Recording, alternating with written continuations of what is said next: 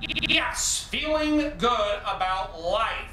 A lot of people say, Brody, are you a comedian? Are you a baseball player? I'm a baseball player. You got it. I failed baseball player. Feeling great, putting the time in, devoted, do one thing, do it the best you can, and then move on to the other challenge.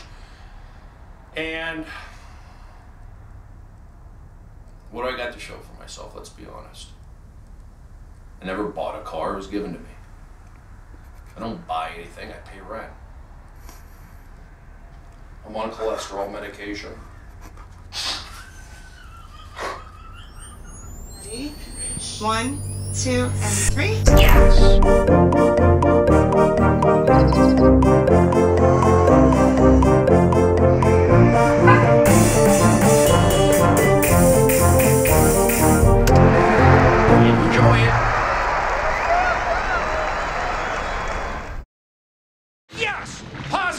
Energy. I believed in myself. You believed in myself. You were a fantastic audience from Michigan to the San Fernando Valley. 818 till I die. Fudge, yes.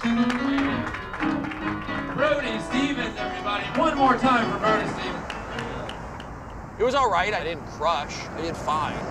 I had some good moments, but it was nothing amazing. The audience didn't know who I was necessarily. A few people did. But it takes a while for people who don't know me to click into me. I am a professional. I've been doing this for about five weeks now, okay? Please welcome back to Very Funny, Brody Stevens. Brody Stevens. Brody Stevens, come on over. Yes! Comedian, the very funny Brody Stevens is with us. This is my big chance.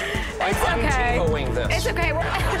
I created the vibe at Chelsea lately. I know you girls watch that show. I created the vibe at Fox Sports, 1,200 shows. Back to you, Brody Stevens. Thank you, Daniel. Brody Stevens reporting live to you from the kitchen window. I can't believe I have to say this, sir, but you can't shoot your son with a crossbow. Well, tell him to stop eating my candy. Oh, jeez. Speed stick.